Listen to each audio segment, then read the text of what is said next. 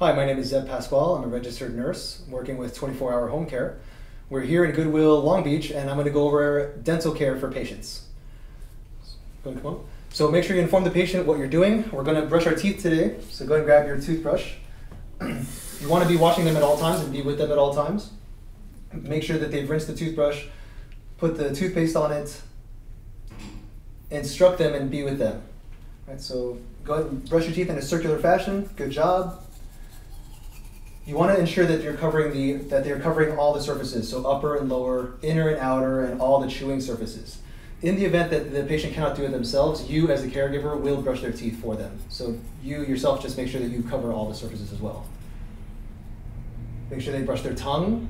and it's okay to stay here and allow them to do it. It is it's not a short process. Good. Once they finish, make sure that they spit it out and rinse. Tell them to get their floss.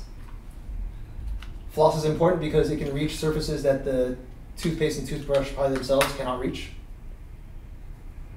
We work and make sure they have the floss taut and secure and they're, they are actually getting in in all the surfaces. That is how you accomplish dental care with patients. For any more information, please visit www.24hrcares.com.